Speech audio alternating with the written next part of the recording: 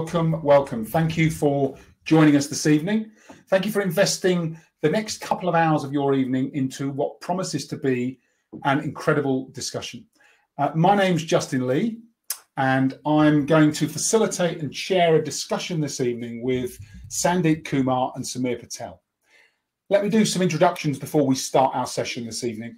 So many of you may not know who I am. I'm, I'm new to this field of dentistry, but I'm not new to dentistry. I entered the dental world about 31 years ago when I qualified as a dental technician. But more recently, I am the founder of a business called Focus4Growth. And Focus4Growth is a sales and leadership training company that specializes in the dental market. Now, I personally work with a number of really impressive brands and market leading organizations in the dental field, including Align Technology, W&H, the MiSmile Network, which is how I've met Sandeep, and a number of other leading brands in the marketplace. And I'm the best selling author of the business book Inspire, Influence, Sell. And really, the business that I work with is all about bringing business best practice, world class best practice to our clients in the dental market. And who better to join me in that discussion than Sandeep Kumar and Sameer Patel? So I'm going to introduce Sandeep and Sameer. I've got a couple of slides that I think might be useful as I do that. So I'm just going to share that as I do. So first of all, Sandeep Kumar. Uh, many of you will know Sandeep, but he can only be described as a, as a real trailblazer in the world of Invisalign. And he's one of the UK's leading Invisalign diamond providers and has created more than 4,000 smiles, new smiles with Invisalign in his private clinics. Originally from India, Sandeep came to the UK in 1999 and qualified with the GDC in 2000. And on the lookout for his next opportunity, bought his first practice in just 2003. When he launched his first private dental clinic in 2007, Sandeep recognized the potential in harnessing Invisalign's consumer appeal and the value to differentiate his practice and his offering to patients. He implemented a highly successful lead generation and nurturing process and grew his Invisalign caseload from just seven in his first year to 400 cases in 2015. And by 2016, he had grown to one of the few UK practitioners to have successfully treated over 2,000 patients with Invisalign. Sandeep has built his success around the Invisalign clear aligner brand and has inspired and encouraged those around him to do the same. He now owns three successful dental brands Smile Dental Birmingham, as you can see on the, uh, on the slide here, Smile Stylist, and MiSmile, which includes the UK's first Invisalign only clinic. He also leads the MiSmile network, made up of a group of 95 independent dental clinics across the country, and the MiSmile Academy. He travels around the UK regularly, speaking on the benefits of working with Invisalign and MiSmile or training his network members. He took his vision to a new level this year in 2021 when he co founded the new brand, the Invisalign focused dental stores under the Smile brand. You'll see it there in the center of the slide with the three M's. So look that up if you haven't had the chance to already.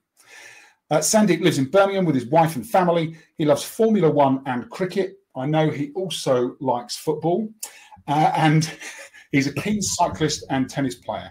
And most evenings he can be found walking in the woods with his dog. So welcome, Sandy.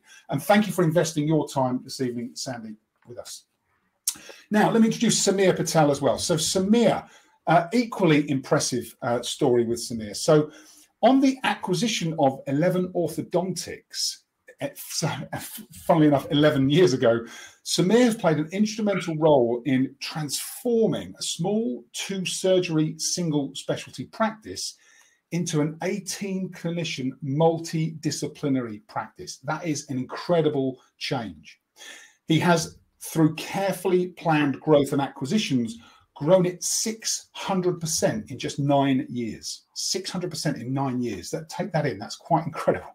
Um, he did this with, as his own words, many failures, and is committed to help people in his network and people that he works with to avoid the same issues. His clinical ethos is all centered around minimally invasive care, which he instills into his hand-picked clinicians who work in the practice and alongside him. His leadership, motivation, and teamship culture all stems from his sporting background. And Sameer's played and captained at county and club level, both home and abroad, with great success, bringing these values into his dental setting and his practice. He's known for his charity work, his partnerships, and an annual percentage of profit contributions to Smile Train, Keen, Salvation Army, and dental missions to Uganda and India. His willingness to give for the greater good has been recognised amongst his fraternity peers and nationally. And Sameer has appeared on Sky News, ITV, and is recommended by Tatler, get this, as the go-to dental surgeon in the UK. What what an incredible thing to be uh, to be referenced by Tatler. And I love this statement by Sameer, who who says excellence is a process and not a destination. Excellence is a process not a destination. And it's the belief that he instills uh, around the teams or in the teams that work around him and in his practice. And they've come to love and know that as a principle. So welcome both. I hope that uh, I hope that introduction did you justice because uh, it really does deserve to. So I'm going to stop sharing the slides now. We're going to go into conversation. I'm going to start with Sandeep and just ask Sandeep, you I believe you're one of Align Technology's largest providers of Invisalign. And I'd love to hear from, you know, from this position looking back, having achieved what you've achieved, tell us the kind of key milestones, the key steps that helped you to get to that position. Yeah, first of all, uh, thanks for the amazing introduction, Justin. I it's better if I don't add anything. I'm, I don't think I can I can do any better than what you have done. So thank you for that and you know it's a real honor to real honor to be here today to you know to be able to share my experience with everybody so um, yeah so you know my my journey with invisalign started in 2007 when i when i certified that that's when i certified with with invisalign came back never thought much about it started my scott uh, private practice that time didn't have much going on it was very early days um, came back from the course, um, picked up a couple of cases, spoke to Invisalign team. They helped me to plan those cases, and we went ahead. So you know, I started a couple of cases in 2007. You know, the amazing thing happened when I start to see those cases in about six weeks' time when they came in for review. Mm.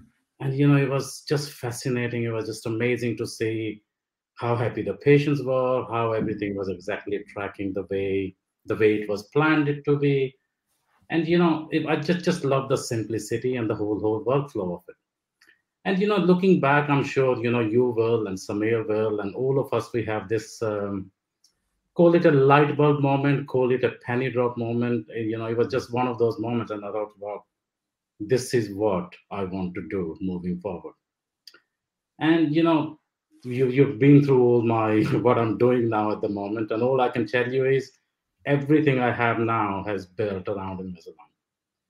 And if I can summarize this thing, you know, being the largest provider, being, you know, traveled around the world, speaking on different stages about Invisalign. And I think that's all boils down to one thing, and that is the relentless focus on one thing. Mm. You know, especially in the world of this Instagram, social media, all that, you know, there's a lot of shiny, shiny objects there's a lots of opportunities and people are running after everything what they see.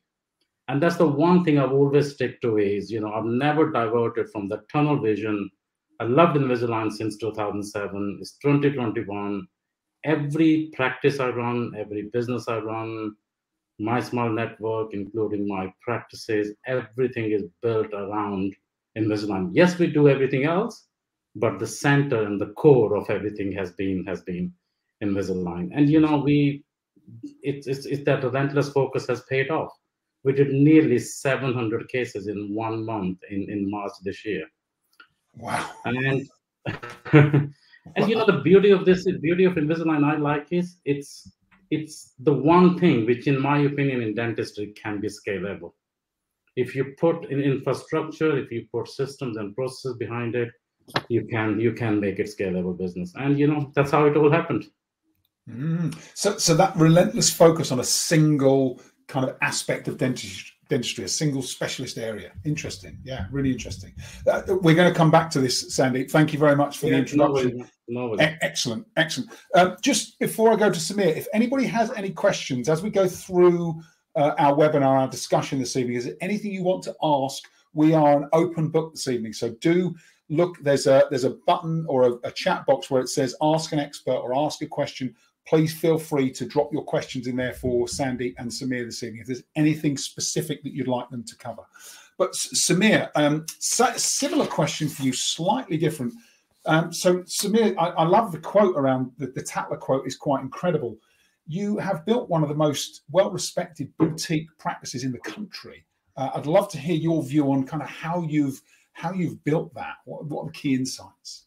Um, Justin, first of all, thanks again for, for having me um, and organising all of this behind the scenes. I know there's a little bit of work, so massively appreciate on, on behalf of Sandy myself. So um, thanks, first of all. Um, but look, you know, the growth of Elleven, um, the first thing I want to say, actually, from Sandeep's point of view, I don't believe that boutique practices are scalable. And I think if you've got a dentist in there, one person who's in charge of that practice or a group of you, I think it's really tough to keep quality, and therefore I don't believe high quality is scalable. Um, in a dental practice, it is in terms of systems and in the terms uh, um, Sandeep's describing, but from a boutique practice, I just believe um, it's very difficult to put yourself in different venues and provide highest quality um, mm-hmm. because your vision doesn't is not then tunnel vision. It's actually so scattergunned that you you'll struggle. So um, look, Elleven from very small beginnings, um, Shivani and Anthony were, were orthodontists there. Um, and we actually partnered with Accenture at the beginning when we took over the practice to try and redefine dentistry um, in terms of patient care. Um, what what is it that dentistry was doing, and what were they choosing um, within the dentistry net, um, field? And also why were people coming back and why did people want to come back and why were people being re- recommend a dentist? And really we found um, that customer service in dentistry really was not there. Um, when we did all of well accenture did all of the, the sort of background understanding and the customer service wasn't there. It was just transaction um, across the board. And therefore those, those small things that matter so much mm-hmm. and people buying people was lost even if they were a great bloke, great lady doing dentistry, they were still transacting doing dentistry. So we tried to change that and make it a real cus. We had four main cores, core values at our practice, and, and really it was it was driven by patient satisfaction and patient care. So we never call the front desk um, reception team. It was concierge. Um, when they went in the waiting room, there'd be a Sonos player, be very quiet. Um, we had this wonderful sort of thought process that the colors on the website should match the colors and the hues on the walls. So we had elephant breath, Farrow and ball, same on the website. And that built subliminal trust as soon as they came in. Mm-hmm. Um, and all those small things that were done absolutely in other fields um, were now, we were going to try them in dentistry. And also, we were really lucky because I just remember in the first year where we where we hardly broke even. You know, we were lucky, Anthony and myself. We had other practices to sort of lean back on, but there was still a vision that if we did it well and did it correctly and treatment planned holistically in terms of comprehensively, the patient would go away with a pain-free experience, um, understand our vision, which was not single tooth dentistry, um, and grow our business. Now, obviously, we you know, you know, if you're treating somebody well, they are going to talk about you. And I remember one step stage, we, we did analysis on every new patient was referring 1.9 new patients within wow. a one year period. So really, therefore, we were doing marketing, but it was minimal.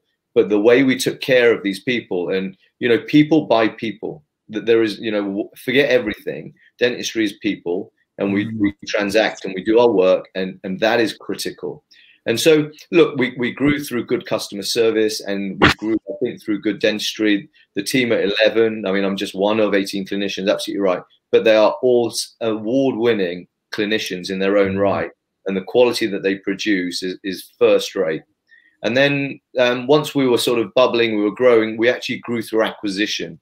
So we we realized we wanted to increase um, one side of our business, which was the periodontal side of things, and the implant, and we acquired a periodontal practice. Um, and therefore, we went from a very simple, I think, 80% straight through to 94% overnight. So you can think that's all probably top line um, in terms of um, profit because re really your overheads are taken care of. Yes, there's a few more staff come in, but we've done that twice and we've grown through acquisition in, in terms of growth. Um, and that was actually um, a recommendation. Not, not I'm not going to take this one because James Khan was my first patient in, in, London, and he used to come and see me in Henley. He's like, "Let's forget this. I'm not coming to Henley anymore. You need to open up." So Anthony Shivani had started. I, I then um, took him on as a client. Very kindly, he then sent his Rolodex to me. So all his friends and family all, all then came to me. But wow. really, when we had we won a couple of awards, and I said we were really excited. We open a second practice, and he literally cut through it and said, "What's your occupancy?" And when I said, I think it was seventy-eight percent, he said, "You're just going to rob Peter to pay Paul if you open a second business. Get to over ninety-five percent when you're earning super profits, and only do it then." And he said, "How long will that take you?" And I probably said five to said ten years. And he said, "Have you got that?" I said, "Well, yeah." And he said, "No, acquire." he told me not to, to grow, he, and he said, "Look, you've got to grow through acquisition." And so um, we took over a periodontal mm-hmm. practice that almost then took us to occupancy. Uh, we put another chair in, and then we extended our hours, and then we went to weekends. And so, look, it's been a constant sort of process for us. But um, as Sandeep said, uh, you know, been absolutely single-minded in terms of the quality of care, the quality of service, but also then the growth side of thing is absolutely it's you know it's fundamental to to any business. You've got to grow otherwise you plateau and you're going mm. down and and that means everybody feels a little bit labored. Mm, very good. Incredible story sameer. We've got some questions coming in from people who are tuned in at the moment. I'll um, i'll go to a couple of those because they're interesting. Uh, sameer because you, are um, it's kind of relevant off uh, what you've just said uh, uh, practice manager Anna Adams has asked Sameer, when you say a boutique agency can't grow, I, you, I think you said scale, didn't you? Um, if you're, she says, if you're receiving 1.9 referred clients per patient, um, what do you do when you get to capacity? Do you refer elsewhere? That's interesting. Uh, you're just increasing your your pricing by 10% every time. Tell us a bit more about that, Sameer. yeah, I mean, look, we had we had some great advice in our growth, and we got to this ninety five percent, and or, or was it just over ninety percent at one stage? And um, we had a business manager who was Cranfield Business School, and he just said, "You guys are really busy," and I, I've just had your, my braces. I had no idea how much braces cost. So he said, "Just you know, he didn't say anything in the whole meeting. And, and Anthony and Shivani look at me he brought this guy along and we paid him a lot of money and he's not really said anything. And he said, I just think you should increase your pricing by 10%. So we increased it by 10%. And six months later, we had the board meeting again and he turned up and he didn't say anything. And he just said, What should we do? And he said, Did anybody notice? I said, No one noticed. He goes, Go again. So we went again, 10%. And then six months later, he said, "Didn't anybody notice?" I was like, "No one noticed. We went ten percent in." and then the fourth time, I was like, I, "We are not." And we were all looking right. We were like, "Yeah, yeah." But we, we went to the clinic. We're like, "We're not going any higher than this." and nobody noticed. Occupancy went up from ninety to ninety-five percent. It continued to grow. Good mm. quality, people will pay for.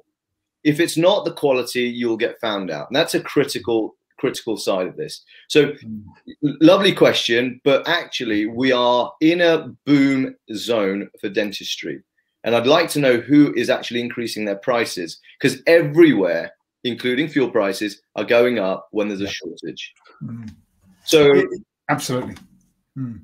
We will continue to increase our pricing if we get busier and busier. Mm. That's really interesting, uh, Sameer. And, and, you know, on one hand, you kind of think that makes so much sense, but on the other, there's I can imagine a lot of people are reticent because either they think their pricing is already at a level that it should be, or they're worried that that will constrain demand. But when you've got this demand supply tension like we have in the market at the moment, actually, and, and, you're confident around your quality and the patient experience, that's absolutely the right thing to do. Um, so Anna said, "Thank you, love that. Using the price to keep capacity under control." While improving profits really helps to get to the next level. Yeah, great. Yeah, and Thank you don't you. overload your staff because often what happens is you get so busy, you're often overloading your staff at that stage. and then you get people leave, and all of a sudden you drop back. And you're like, what happened there? Yeah. And actually, what you want to do is share those profits with with staff. Number one, um, mm. you, you, know, look, I'm not saying financial. Uh, however, everybody does it, it's very different, and and I know um, it would be something great to touch on before the end of the webinar. Mm. But yeah. actually, sharing that is really important. But actually, understanding growth can be managed in many ways. Mm. I like I like that profit share and managing growth. Uh, we will come back to that, uh, Sameer. Very good, very good. Thank you. Uh, excellent. Thanks for the question, Anna. That's that's super. Um, so I've got a couple of questions from um, Sarah Anders. Uh, one from Sarah Anders for you, uh, Sandeep. So Sarah says she really liked the um, advice you gave on putting systems in place as you started to grow your practice, and has asked specifically, what advice would you offer a practice starting out on trying to improve systems? Where should someone start? So first of all, I think you need to start with your existing team. Mm. Um, sit down with your team, understand what each and every team member's role is in the practice. And as I said, Invisalign can be built around systems and processes. And if right people on right seats can really make a huge difference to the growth of your Invisalign business. So sit down with your team, understand who's doing what, and then identify who is going to be become a call it like an Invisalign champion. There got to be a one person in the practice who knows everything around it. Mm. And the second thing I think is very, very important before you go out and start spending money with any of the marketing agencies, go as deep as you can and do internal marketing. The pa- patients who are coming into your clinic, they are already want what you're offering, but they don't know what you're offering. So figure out a way how you're going to start that communication with your existing patients. You know, all these new uh, softwares can send these automated messages and emails and start to introduce to them what what you're offering before you start start going and doing doing the market. Yeah. So market to your internal existing loyal patient base because you're going to surface some inquiries and some leads through through your your own captive audience. Yeah, really, really good advice. Absolutely. Really good advice. And and in terms of uh, uh, uh, Deepa Ben Patel has asked, is there a, an Invisalign course you recommend if someone was starting, uh, Sandy? So Invisalign, first of all, Invisalign have got their own Invisalign Go course, which you, if you're a GP, that's where you start. Yeah. And that is a very good, it's, it's a, so they used, when I qualified, then there was only Invisalign comprehensive courses available that time, but there was a steep learning curve that time. So Invisalign have come up with these Invisalign Go training courses, which are really hand-holding the GPs building their confidence as they go along. And once they have done 10, 20, 30 cases, they can go on to doing uh, comprehensive cases.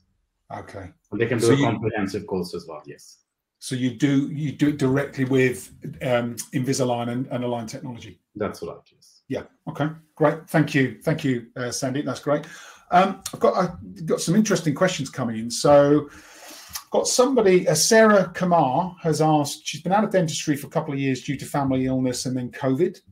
Um, she's interested in finding an opportunity to get into Invisalign when private practices aren't keen to take people on due to NHS dentistry background.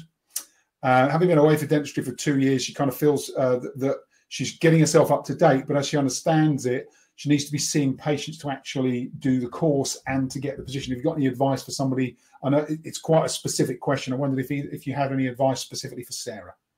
Yeah, Sandy, but I'll take this one if that's okay. Hmm. Yeah, go for it. Yeah, I mean, one of the criticals when we're recruiting, you know, anywhere at my practices, is to actually have a portfolio and actually photography to be able to show um, a potential employee um, to say this is what I can do would be amazing, but also then to show your patience. So I think mentorship is really important. Try and find somebody. Uh, Sandy, I, I, know your story, and, and, I feel really strongly that mentorship is really important.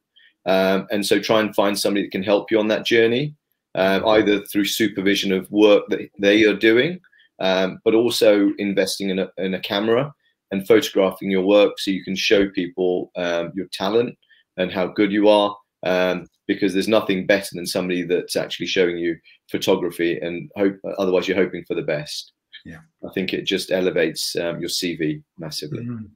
that's really good advice sameer so so documenting photographing successful cases so that you've got you know an evidence a portfolio. And, I, have seen yours sameer at your practice and it's absolutely stunning. The, the number of successful cases and examples you've got is uh, is really impressive.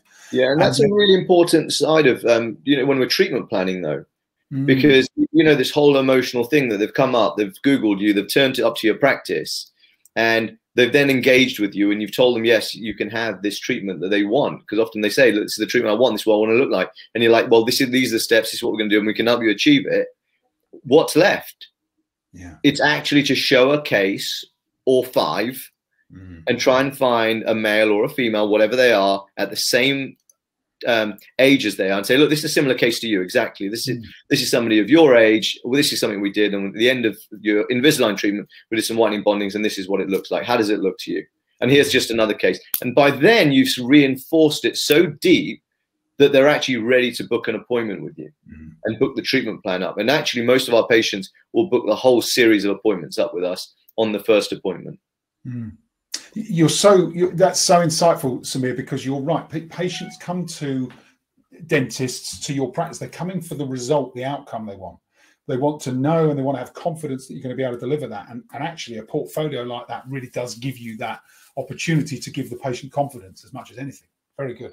And, can I just add? Can I just add something here, Justin? Sorry. Please, um, you know, yeah. I think the the question was, you know, she was working in NHS practice and you know that in my opinion if you work in nhs use that as a perfect opportunity to learn and experiment and mm-hmm. improve your skills. Because once you go into private practice and when you start charging whatever you're going to charge for private practice there's no margin of error. Whereas you know nhs practices you say you want to do invisalign course invisalign case speak to your NHS patient. As long as you cover your cost, learn from it. Start mm-hmm. few cases at a very, very low, low cost. As Sameer said, build your portfolio. Now, okay, you won't be earning a lot when you're starting out, but invest. It's like, you know, you're going out on a course and investing. So when you come back, you're in NHS practice, it's okay. Do it a little bit cheaper than you will do, but build your own portfolio. And then eventually that will open a lots of pathways for you to go into a private practice. Mm. You're building your skills, your competence, and your portfolio for the future. Yeah, I love that. I love that. And and something you mentioned as well, Sameer, was about finding a mentor. Uh, you, you, I know you've both worked with mentors in the past. Have you got advice on how someone goes about finding someone and approaching them? Yeah, I mean, I just feel that you've got to find somebody you get on with, you respect, and and take it on from there. Because mm. re- really, a mentor is someone that you can ask questions um, that you might feel they're silly, or you just need some reinforcement of, of something, and, and, or just go and watch them. I, I remember um, when I first took my um, job, you know, after after my VT, it was a private job, um, but I was so ill skilled that I was doing a lot of courses but I was taking Friday off to go and watch a myriad of dentists, just see how they work, what they do. And um, Sandy makes a great point. I, I don't believe actually financially that's what you're seeking at the beginning of the career. What you're seeking is experience. Mm. What you're seeking is the ability to create a portfolio. What you're seeking is the fact that you you can get yourself out of problems when when they arise, or just understand. Well, that was something I find really difficult, and now I know exactly how to do it. And mm. so that whole five years, first five years, is all about just growing yourself, and and and sometimes we do have hiatuses, uh, whether it be through through pregnancy or or career change or or just that you, you know whatever life deals us. But you've just got to come back and say, right, what is my plan? And I think you've got to have a plan. You can't just let it drift and hope for the best. Mm-hmm. You know, I love Elon Musk's expression. You know, I have a five year plan and I try and knock it out in three months. Absolutely. you, you, know, that's what he does. And he goes, I'll get 90% done in three months. And so this is, if you say, oh, I'm hoping for the best, I hope that I see somebody and uh, somebody will tell me something. Well, that, that's drifting. Mm. If you're so committed in this whole tunnel thing that you know Sandeep started, which is such a great analogy, if you are really focused to get this out of NHS or grow yourself, you know you've got to spend time understanding how the slow hand piece works so you can remove decay well. If you can't do that, well, that's the beginning of dentistry. Cutting a cavity, cutting a prep, whatever it is you're doing, mm-hmm. understanding moisture control, suction, all of those are the basics of dentistry. Then you can grow from there. What does a bridge look like? How, what does a margin look like? Mm-hmm. How's the bite looking?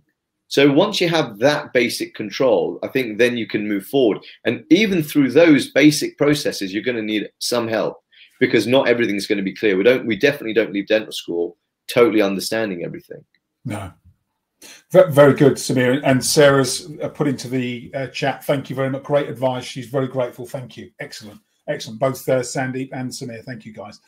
Um, I've got a good question about managing financial multidisciplinary disciplines with the many associates and whether or not you have a model or some guidance on how you share fees or how you would do that.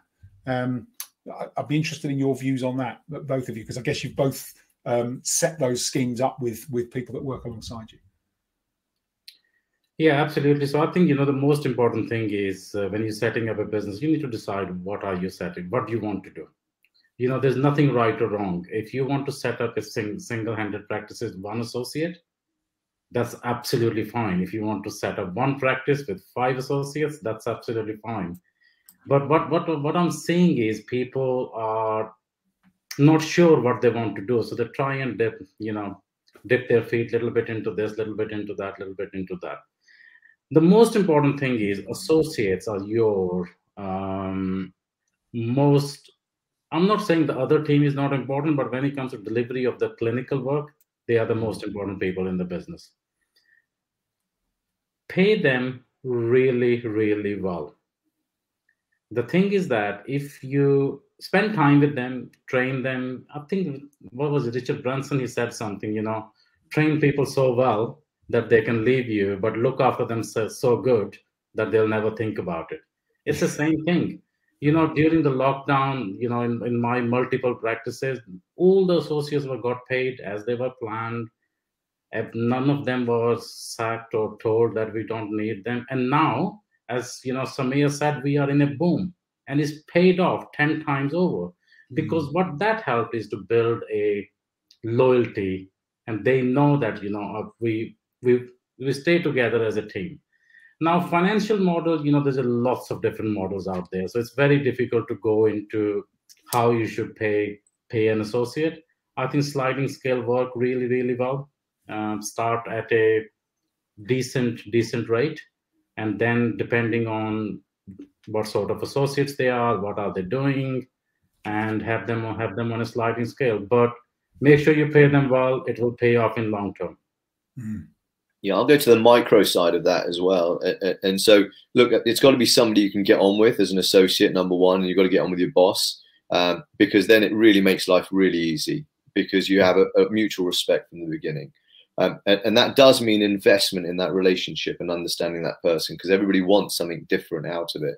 Um, at, at Elleven, all the 18, no, I do not tread on their toes for the style of dentistry that they do or the way that they work. I just ask them for a few ground rules. Um, but also, sliding scale is, I think, the modern way um, mm-hmm. that a practice with high overheads can be a win-win situation.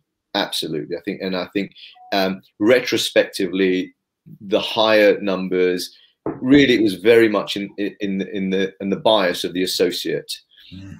With a sliding scale, but I mean, let's move away from that because I think when you have a team it's so important the output is monitored because you can say i hope for the best and i hope my practice does well but if you don't have clear target for number of hours that they've worked number of output that you're expecting from them not necessarily pushing but you're expecting from them you can then plan for the practice to have a budget for income for expenditure and um, and then for reinvestment in the practice as well. Mm. Otherwise, you're hoping for the best and saying, well, let's hope we make a little bit of money, and then when we've got that money, we'll reinvest. Well, that is yesteryear thinking in dentistry.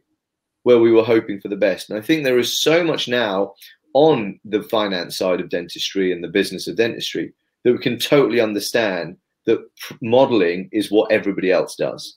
Mm. And we've been a bit archaic in the way that we've looked at things in the past. So hourly rate that they output, hours they're working, hours they're, they're not working, downtime in the surgery. I'll give you an example. We have a, a wonderful um, associate at Elleven that I we sort of give her three days, and those th- and we're completely full. The clinics are full six days a week, and but whenever there's somebody off, she gets those days. So that allows me to maximize the clinic even further. Now we'll give her her days a month in advance. Say these are the days we need you. So she's fine. She can hmm. plan her, her time and, and, and whatever she has to do. But that fills any gaps. But it's very clear that if someone is taking a lot of time off and there's downtime in the surgery, well, that's going to affect the output of the practice as well. Mm. And, and, therefore, we want to be as efficient as possible when we run a practice because there's, there's three hats. You know, the E-Myth writes so beautifully. There's a technician, which is us as dentists. There's a manager where we're trying to actually keep up with everything. And there's the entrepreneur. Now, the manager has actually got to integrate the understanding of the business vision the entrepreneur will come up with something and the entrepreneurs and i know it we haven't got the ability to actually do that macro st- micro stuff. So you've got to have a great practice manager or some type of integrator that can then say right okay that's what we want to try and do. That's the profit margin. This is the hours that we're going to try and work. How do we fill those gaps? How do we maximize our time and the surgery is open? Because it's when you maximize them is actually when the practice makes the most profits um, which therefore can lead to better investment and better pay and everything that comes with that. Mm. So you, you mean similar principles from both of you? You're talking about sliding scales and performance related pay. So you're you're linking the performance of the clinician or the team to the pay that they can then generate for themselves almost because they know the model and modeling rates getting really clear on you know utilization in the practice so that you've got money to be able to reinvest that benefits everybody patients the team yourself the business. Yeah sure. i mean interesting isn't it? Because as you said uh, sameer you know perhaps not traditional thinking in terms of dentistry but actually quite well established thinking in terms of business and thinking about the practices of business. Yeah if, if you are a principal and you don't know the hourly rates of all of your clinicians I, I, I think that's the that's the first place to start Great. and then go back and track it for the year that's gone and say, well, okay, this is the average. And so we know exactly what happens. And therefore, you can do forecasts. What marketing do you want to put in? What type of work are they doing? Um, insight into tracking really allows you to then understand your practice, which allows you to grow even further. Mm. Very good. And, and I guess links up with your other point, Sameer, which was set goals around your business decide what numbers you want to achieve, whether they be revenue numbers, patient numbers, hourly rates, utilization, but know know those numbers so that you can you you can share it with the team and have a target that you can all work towards. Totally, and I have leaders all around the practice, and I think that's mm. the best way to be. So, you know, we have a treatment coordinator, we have a new patient coordinator, a reception lead, got a practice manager, a marketing director. So everybody has to send me an email on a Friday afternoon, and say, "Can you just tell me where we're at?" It summarizes their week. I know exactly where we're at, and therefore moving forward, um, if there's anything we need to tinker with, we can tinker with. Great idea. So that's every Friday afternoon. Uh, is it an, an, email, Sameer? Is it it's an email? You know, you know. Again, we just don't want chunky emails. We need bullet points. That's it. I don't want to burden them. Bullet points. Mm-hmm. Friday afternoon, please. Tell me where we're at. Nice it forces their focus as well, though, right? Because yeah, they tell me what they're doing next week as well, which I love. Yeah, it's great. Re- I really like that. I really like that.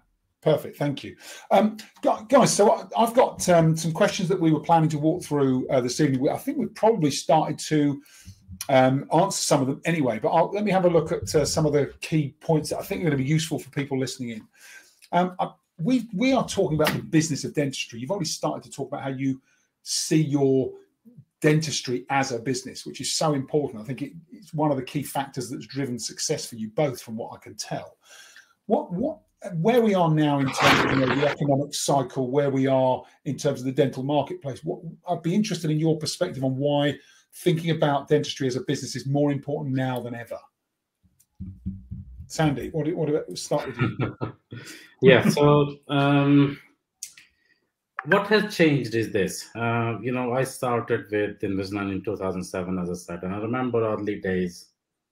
There was mixing everything with the hand and with the putty and taking all these impressions and sending everything off, and everything was just so time consuming and what I think has shifted in last 10 years, and I remember those days we used to write our notes on a paper, on a, on a paper notes.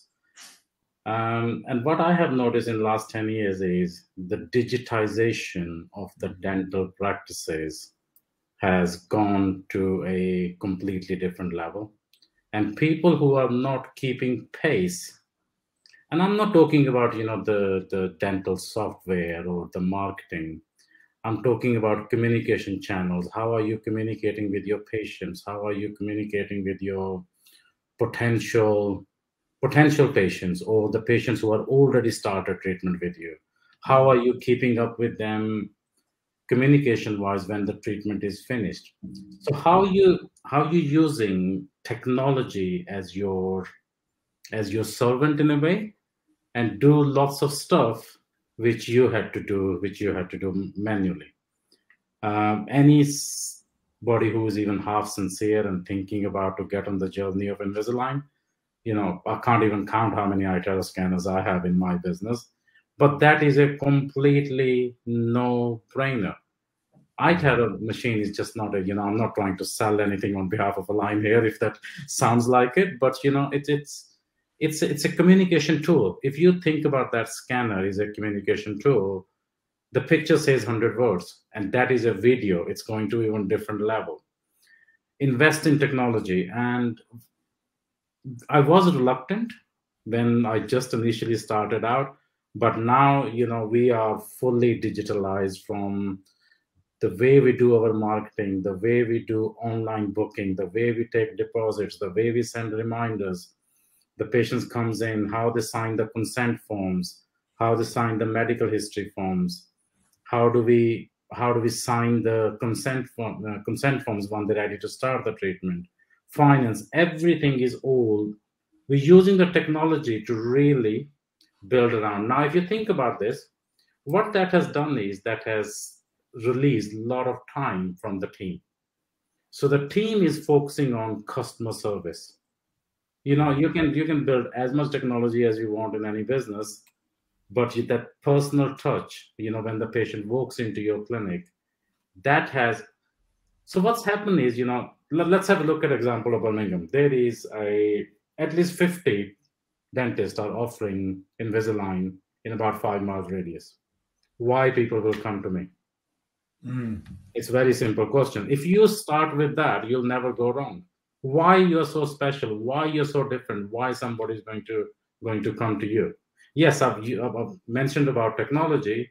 You giving them a great experience but that personal touch the personal welcome the personal service which you provide is is is that's going to ultimately decide are they going to have have treatment with you or or uh, or with somebody else so that's the digital i think going going digital is one of the most important thing has changed in my opinion Mm. And the second one is, you know, there used to be a time when I used to work as a dentist.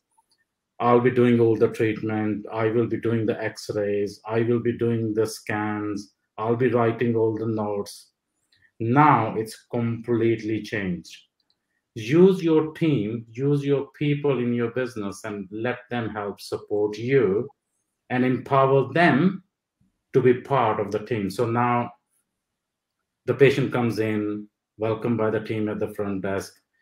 Treatment coordinator explains everything to them, make sure they answer all their questions with them, talk about finance and Invisalign and all that.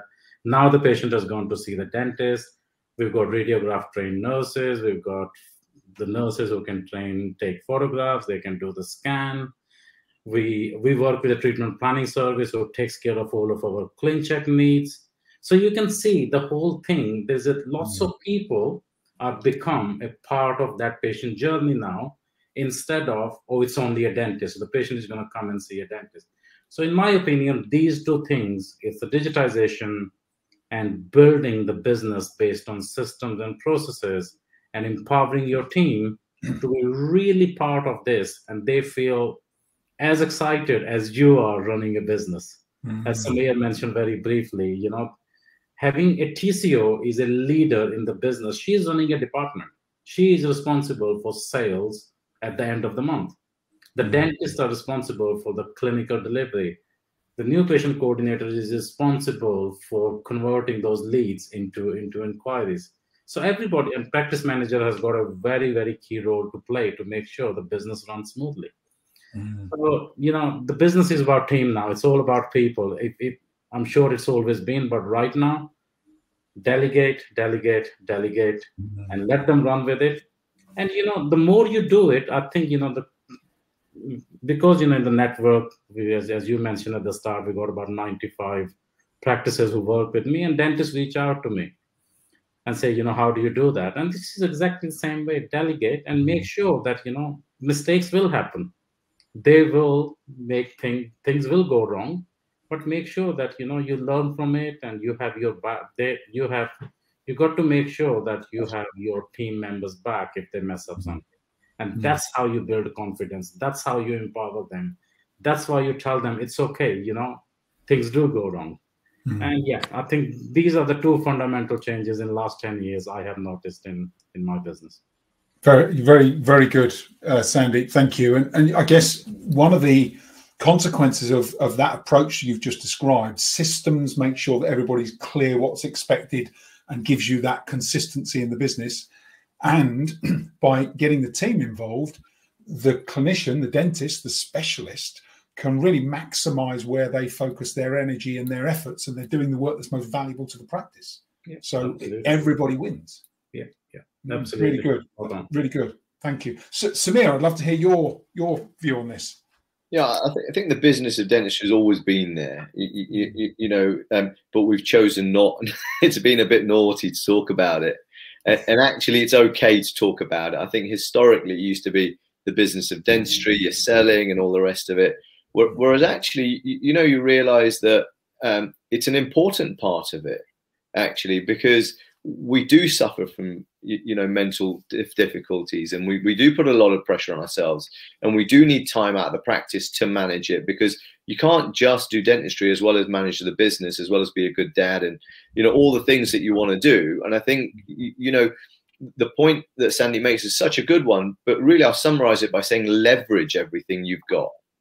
Leverage your time by delegating by appointing people to do the stuff delegate your brand so it can then people can see it across the board. And you can leverage your brand by sending internal referrals um, social media posts whatever it is that you're doing you can leverage that. You can you should be leveraging your money as well because some of the money you make you should be investing not only in the practice but for your own good. Because if you want to stop trading your time for money you will not do that unless you start investing early into the right things or in something to allow you to have financial freedom when you're older. And so all of this, all of that side of the leverage is critical, whether it be time, brand, money, um, you, you, your own personal space to be able to do stuff. And actually, what you'll find is, I mean, talking from a leader's point of view, um, it is that actually your staff love it because you're not on their back. You've leveraged it. You've given them the know-how. This is what I want you to do. This is very clear. Just, he said, "This is what I'm expecting you to do." and have a no blame culture. And it sounds like mm. Sandy, you got the same as us because you know we don't have a blame culture. If something goes wrong, we want to bring it up. And we have we talk about a black box moments. That the first thing we talk about any black box moments yesterday. So if one thing goes wrong for somebody, it doesn't go wrong for the six receptionists. They're like, oh, I didn't know that. We don't do that. Okay, that's great. So then, therefore, is another problem that might come up the following week or later on to say, actually, you know, what did we get wrong? So I think the sharing side of things, whether it be within your business, and the thing that I love about, um, um, you, you, know, one of the real beauties about COVID is that us dentists have learned to share more as well, and we've learned collaborative. Uh, and, and I love that. I think we used to sit in our rooms, in our dentist chairs, thinking we're the men and that's it, we're doing it, and the women, and you know, we're uh, we don't need to talk to anybody. I know what I'm doing, and you know, I, I think the collaboration that we needed to get through COVID has been amazing, and the openness and the humility um, and, and, the brotherhood and sisterhood that we found in that um, has been incredible. Because I think in the 25 years of in dentistry, actually in the last year, I've heard from more people reaching out, or I've reached out. It just feels like norm to reach out. Mm. And actually, it's it, therefore you know we're sharing a problem, and therefore it's not a problem. And you, you know, hmm. Sandeep and I talk regularly about uh, things that we're thinking about or or worried about, and you, you know that isn't that. I mean, yeah, we would see each other at cricket actually from time to time, but this is lovely. I, you know, I think this is we're in a great place, and, and, the more we can do it, I think dentistry can only get stronger um, mm. in this country. and obviously, what? So, what do, you, do, do, you remember that uh, seven o'clock in the morning call when we both happened to be on a clubhouse? I mean, what that it just happens between six thirty and seven thirty. If you're not up at six thirty, I mean, like we're all up, we're doing something. Like that's the only time we get to speak to each other. Seven o'clock call. What are you doing? I'm jumping on. I'm on my way to London. I'm, I'm jumping on my treadmill. I love that. Yeah, that's it. that was seven o'clock in the morning, and tonight we're seven o'clock in the evening. Wow, look yeah, at that! Yeah. You, you, guys are committed. I'll give you that. That that's brilliant. I, I love that as well, Sameer. I love this. You know, the idea of delegating to leverage, delegating to leverage. You, as you said, your team are empowered by and actually enjoy the additional responsibility. But when you think about it, if you're building a practice, if you're trying to build something you know that's, that's good for patients, good for you as a business owner, good for your team. Actually, the more people you have enrolled in that vision, this is where we're headed, this is what we need, and here's how you play a part and get their their complete, total, and authentic buy-in. All of a sudden, you've got three or four, or depending on the size of the practice, you know, 10, 15 people all trying to achieve that goal alongside you. And that gives you so much additional leverage. You're absolutely right. I, love, I love that term leverage. It's brilliant. Really, really good. Um, guys, we have two questions that are very similar from two different um, uh, viewers. So I'm just going to ask, uh, I'll ask them both. I think they're, they're both the similar questions. So we've got Jakob Koshiri and Ivy Glavy. They've asked, uh, the fir first question was I'd like to know if, if now is a good time to start a squat practice. And if so, could the speakers give some advice on key points to look into starting one? Uh, Ivy's question is Do you have any tips for anyone starting a squat private practice, the do's and don'ts? So, if we kind of say, is do you think now's a good time? Uh, obviously, you guys are in a different position, but I'd love to hear your thoughts on that. And then, if now is a good time, then you know do's and don'ts and tips for starting. That'd be great. Shall we start with Sandy? Yeah, I'll, I'll take this, and I can take an hour on this. Yeah, I, am going to just go and kip on the bed just while I turn the. You're going to ten minutes. right. So I, I have done this seven times. So my first practice was the only ever practice which I bought. Everything else has been built from from scratch. Wow. And there's a couple of pointers I can tell you. The most important one is I'm sure you may have heard about it, but there's only one rule when you're starting a squat, and that is a location, location, location. Mm. You get that right, you've got a very good chance of succeeding, and everything else comes after. And I've only and got I'm one tip you, in this, and if I can just come in, is Waitrose do 10 million pounds of market research for people who have disposable income. And then they put a, a Waitrose in there. Now, what are we in the market for? DI. Yeah. we, I've not got 10 million pounds to, to, to, market research, and all of the practice I've worked in or own are near a Waitrose. Wow. Yeah, no, I think that that's a very that's a very very good tip. It's just you know mm. the thing is that you know I'm telling you with my experience. I I messed this up very badly, and I opened a my you know things were lo- looking really well. I opened three squats; they all were doing really well, and I just opened another one and I got the location completely wrong. I was doing everything exactly the same, no difference, same setup, same everything, but the location was completely wrong. Within 18 months, I had to close that. And a number of people I know who have been in this situation. So initially, you know, take Sameer's advice. You can't go wrong with that. yeah. uh, but you know, take take your time, take your time. And you know, this is where work with mentors, it will pay off. So you know there, there are there are people who've been in the industry. They have been through this this treadmill. They've been through this grind. They've got a lot of experience. They have succeeded. They have failed multiple times. Find a mentor who you can pick up a phone, who have been through this journey. Don't go out there and do it by yourself. Mm-hmm. Spending a little bit and spending some time with the mentor will pay off in long long. Mm-hmm. Um, again, before so is the best time to score? Always is the, is the best time to score to dental practice. I do not have any concerns, any issues. I'm just opening one in uh, Bristol at the moment, which is going live in a few weeks' time. We opened one at the start of this year in Newcastle. So yeah, squats are working absolutely fine. Uh, once you have get that, then the so then say let's just assume that I'm just going to put a figure. Uh, let's assume a figure of ten thousand pounds that you've got 10,000 pounds to spend, what you will do with that. If it's my money, this is what I'll do. Uh, first of all, I will invest in people. I'll hire and I'll train my people really, really well. They need to understand what this business is going to be about. What are we trying to build? What is the expectations? What the end game looks like, maybe in a year or two years or three years down the line. Once you have nailed that, then the remaining out of 10,000, I don't know how much even left that time, I'll invest in technology. I'll invest in technology so it makes your life and your team's life and your customer experience as good as you can make it. And then if you're lucky and if you still got some money left, that's when you start thinking about investing in marketing. When you're starting squat, you have to have a marketing budget. I'm not saying that, you know, don't have it, but if out of the 10,000, if you go and spend 7,000 in marketing and you don't have right people and you don't have right technology, that's going to dry up really, really quick, guys. Mm. So in, invest in the infrastructure, start with small. You know, you don't have to open a six surgery practice straight away if you're not sure. Start with two surgery, but make sure that you've got a, you've got enough space to expand if you want to.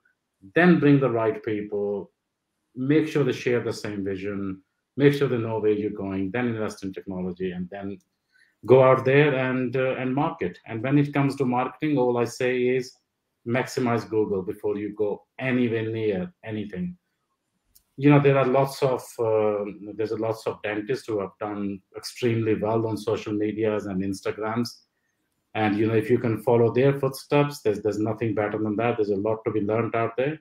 But if you invest in your hard cash, I would invest into Google because the difference between Google and social is if you know what's happening is when you go to Google and you type something, say Invisalign Birmingham, you actually thought about having Invisalign, and now you're sitting down on your PC or your mobile phone and you're typing what you're looking for. This means you are interested, this means you're serious, and whoever is there, you will reach out to them. Whereas in social media is all the marketers and include me, what we're doing is we're interrupting people's life. You know, when they're scrolling up and down on their Facebooks and Instagram, what we're doing is we are interrupting people's life. Some will like it, some won't. Mm-hmm. Maximize Google first, and then become mastery mastery of uh, mastery of marketing. And the most important thing is when you're starting a squat. Once you've done all that, you've got to you've got to become a bit business minded. I know we all qualify as clinician and we all, all want to think about, you know, the mouth and the teeth and everything. But when you're running a squat, you've got to have a pulse of your, you've got to spend time improving your clinical knowledge, your communication knowledge, your sales tech, your sales technology, your sales techniques. And the most important thing is your team. You, you, you need to build an infrastructure where your team is really bought into your vision. And that, that's mm-hmm. what uh, that's what will make you successful. Some great advice there, uh, Sandy. Thank you. Very good. Uh, Sameer, what are your thoughts on this? Um, look, I, I, think when the, the, actual pricing of dental practice is quite high at the moment. Mm. And so, therefore, that allows the squat option to be a really viable option. Mm. And if you think the average price of a practice, uh, let's say half a million, half a million is a lot of marketing. Mm, that's true. Yeah. and so let's say you set it up and, and you invest in the overhead, but then you're paying that off. That's a you know that's capital expenditure, but you've got a lot of time and money and to set correct systems from the beginning. If you set up a squat, you've got no bad habits, you've got no bad staff. Mm. Um, th- there are, but you have no drip income to start with as well. So you've got to you've got to absolutely have a little bit of um, strength and belief that it will be okay because you're doing the right thing. Mm. Very good. Uh, and it's interesting. I heard um, I, was, I was listening to an article recently, a podcast, and there was some stats mentioned on there about the number of practices that sell in a, in an average calendar year. I think the number was about fifteen hundred, and then they talked about the number of uh, demands and inquiries for uh, purchasing practices at the moment, and it's something like four times the number of practices that sell in a year. So there's about five about five, five and a half thousand people looking to buy, dentists looking to buy, and only about 1,500 sell throughout an annual period. So it's so there's a huge disconnect in supply and demand, which kind of, uh, to your point, Sameer says, actually, if you're starting a squat, you should be able to you know monetize that quite quickly, set up a successful practice, but you've got to get the other component pieces in place quite quickly. Very good, very good. Can I, I just add uh, just two little things here, Justin, which came to mm. my mind. I think you know, again, I just want to make sure that I share my experience. Whatever your initial budget is, make sure you have at least twenty percent on top of that. Don't think that it's going to cost you two hundred thousand pounds to set up a dental practice, and as long as you got a loan, you run away with that. I'm telling you, things never go according to plan. Mm. And the last thing you want to do is being under financial pressure from word go. You will always be worried about where, where you're going, you know, with the builders and equipments, there will always be always things go wrong. So make sure you cover yourself. And the second, if you really want today, you know, to go away and tomorrow start thinking about it, let me try and sell you why squat is the best best way. Just assume that you spend 400,000 setting up a four surgery dental practice you set it up, or you go. It is going to be painful. I'm not trying to suggest that it won't be.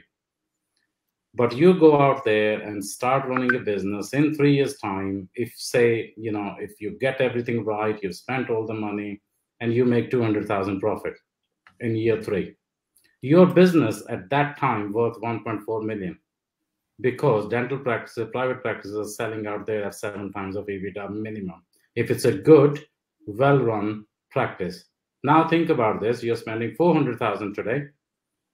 Maybe another 100,000 you will need to make sure that you keep the running. But in three years down the line, you have built a business for 1.4 million. So have a long-term plan. Don't just go into, oh, it's a lot of cost. It's never a cost. It's always an investment. And if you if you plan and if you put the structure around it, it will pay off. But make sure that you you get your planning correctly. And again, I will reinforce again, get a mentor. Mm, Initially, when you're starting out your first practice, make sure you got a you got somebody to advise you on the journey. Yeah, and you know it's so important because there are so many people that have, have, have already achieved what you're looking to achieve. If you can if you can get yourself a mentor that's already walked the path, you're going to save yourself a lot of pain, a lot of struggle and, and figuring out a lot of problems that perhaps aren't, aren't as obvious as you think to solve. We've got some great engagement on the chat tonight, gents. Uh, I'm sure you'll be pleased to know. Uh, Michael Donalds uh, said, just wanted to comment that he's definitely feeling the boom. Don't think I've ever been so busy with private patients. Uh, he is interested to know how long the boom, how long we think the boom will last. Is there an unlikely threat of an updated NHS contract in the wings? He says. Uh, we'll come to that in, in a second. Um, and Anna Adams says, Thanks so much for the Waitrose tip. That's brilliant lateral thinking, Sameer. She loves that.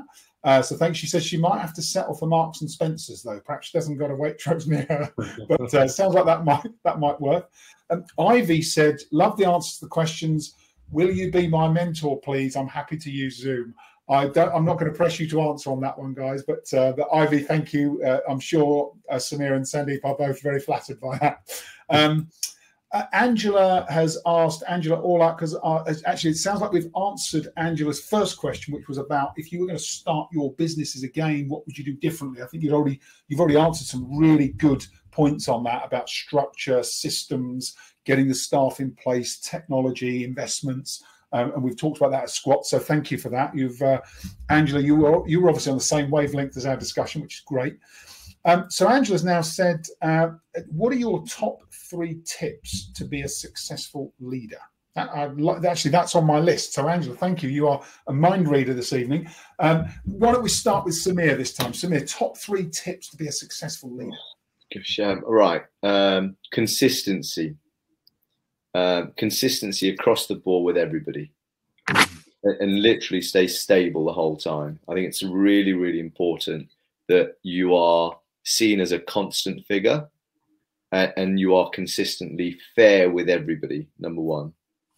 Um, number two, I, I think um, a culture setter, an outline. This is where we're headed, or this is what we look like. This is what we do. Um, and if you do that, people will end up either following you or not following you. And the people that don't follow you, let them go. And the people that follow you, you don't drag them, and it's not harming your energy at all. So I would say culture would be number two. Yeah. Um, and number three, I would say just share good times and bad times because there will be good times and there'll obviously be difficult times as well. And I mm-hmm. think um, if things are going well for you, I think it's really fair to share those good times and enjoy them with the staff. Um, and when things aren't so good, I think um, Sandy mentioned it earlier, um, your staff or your associates, they'll rally around you because you were there for them in, in the good times. And, and, and I think, um, but consistency is a big thing, culture is a big thing um, and, and finding fairness. I, lo- I love that.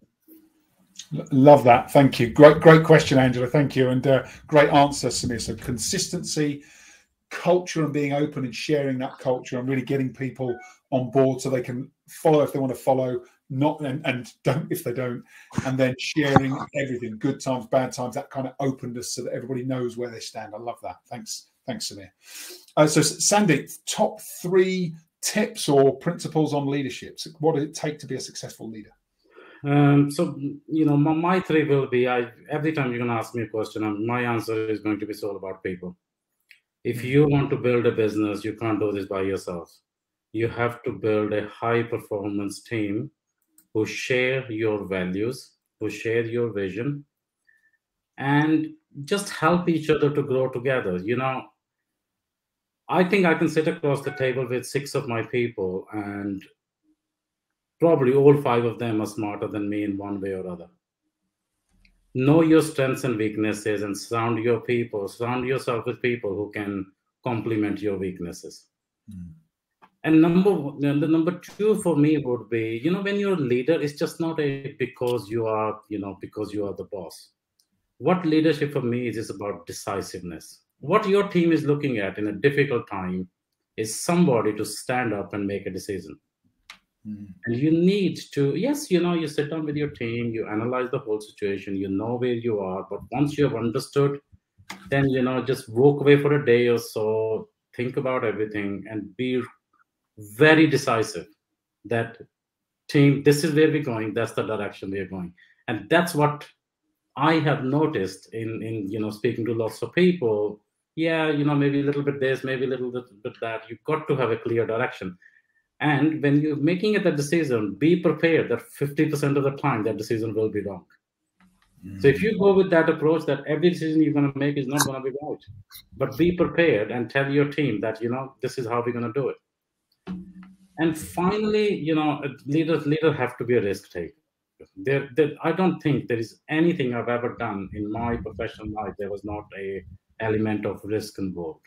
I'm talking about setting up, you know, squat practice. practice. I'm talking about when I jumped into all guns blazing, setting up for Invisalign only dental practice. First one to do do it in Europe that time, right? Everybody was thinking, "Are you crazy?" Um, just, just you know, don't put, put all your eggs in one basket. You know, make sure your family is safe, your kids are safe, but you've got to have that element of being decisive and being able, being ready to take take those risks whenever whenever they're necessary. So yeah, mm-hmm. that's my three. Wow. So so surround yourself with people that have complementary strengths to yourself. I love I love that, Sandy. Build a team of people who have complementary strengths or or fill your gaps, I guess. Um, be decisive, stand up, and, and recognize that you might not always make the, the right decision, but you've got to make a decision. So lean into decision making and take risks because, as you say, as the as the leader of the business, if you don't take risks, then people around you won't take risks. Actually it's, it's about role modeling as much as anything else as well. Very good. Very good. Thank you both. Um, I, will go back to some comments. So uh, Jakob said, thanks so much for the advice. He really, really appreciates it. So thank you both. Excellent. Um, and actually, Laurie Glover, who is our uh, marketing director from FMC, who's on uh, our call this evening and helping us with monitoring in the background. So thank you, Laurie. Uh, Laurie says, uh, absolutely echo Sandeep's advice on focusing on in market traffic through Google search optimization. Many practices can overlook organic search on their website in favor of social media. Uh, and, and if they do that, they do so at their peril. So just a reminder uh, of the importance of that kind of almost live Google search optimization is really important. Thank you, Laurie. Um, so I, have got a question here. I'll have to ask it. Um, Irina Sabu says, uh, "Can, in your opinion, guys, do you think can an outdated paper-based practice that's been run by the same dentist for the last thirty years be turned around easily? And if you, and if so, have you got any tips, please? That's uh, it's almost that sounds like you know one of those." Um, uh, newspaper columns, isn't it? Like a, a, cry for help, Irina. I'm sorry about that, but we'll we will do our best to help you. Yeah, Justin, you should get one of those pro. You know those programs where they go in and turn around the house. right? yeah. We need to do that, right? We've got to get five practices. Right, FMC are going to sponsor it. We're going to go in there. We're going to put in digital. We're going to iTero scan everybody. I love DIY SOS Dental. Let's do it. love that, Sameer. I love that. Well, well, let's pick this up with Laurie afterwards. Um, I've just got three tips on that. Uh, you, Thank you. Any planning for future growth, break it down into six monthly or three monthly sections. What is it we are planning on doing? I mean, look, if you, you don't climb a mountain, you climb hills, right? So what we're going to do, we're going to just take three things we're going to change in the next six months.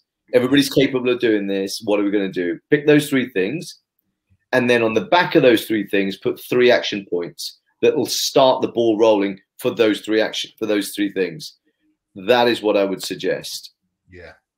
Great great advice sameer. Great i love that. When you don't climb a mountain you climb a succession of hills. So so important to remember. Otherwise you become overwhelmed at the task at hand. Very very good. Thank you. Thank you. Um uh, sandy um, so I think there was a couple of years ago, I watched this uh, TED talk and I learned something from that, and that's called OKR's principle. Mm. You know, people talk about setting goals and missions and this and that, and I think that was a very simplified version of all this I've ever heard.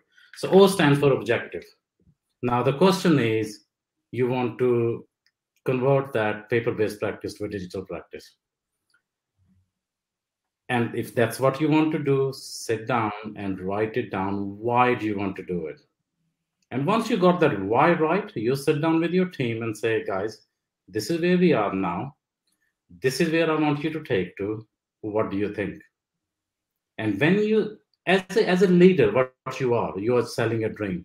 We are a salesman. You know, I'm selling my vision to my team, to my customers, my my people you've got to sell that vision to your team. You cannot do this by yourself. And once your team is bought into it they can see right you know how how their life is going to be easier once the practice is digital or digitized. They don't have to sit there every evening at the end of the day you know filing these cards getting them ready. And then once you explain to them the benefits and outcomes and why you are doing it that's when it will sell and KR stands for key results.